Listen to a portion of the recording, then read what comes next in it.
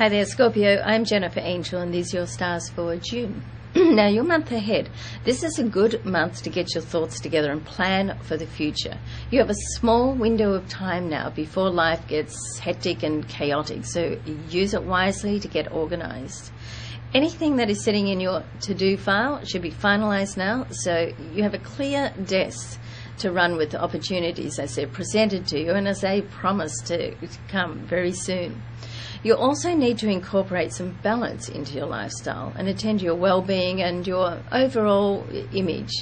You have some big things coming up, Scorpio, and you, you really want to be ready for them.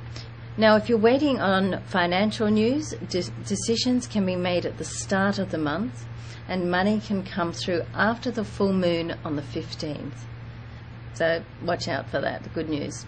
Now, love is strong in your chart right now, too, so it can literally come and tap you on the shoulder. And if you're already happily arm in arm with your sweetheart, then your relationship can even just move to the next level or get a little bit better now. So make sure you get the rules and regulations in place first if you're you know meeting somebody new you want to start off with a good uh, set where you want to end up now, whether it's to do with money, living arrangements, or family time, it's important that you have a good understanding of each other's expectations. But remember, it is not always necessary to agree with everything your partner says. You do need to accept their opinions, but you can agree to disagree.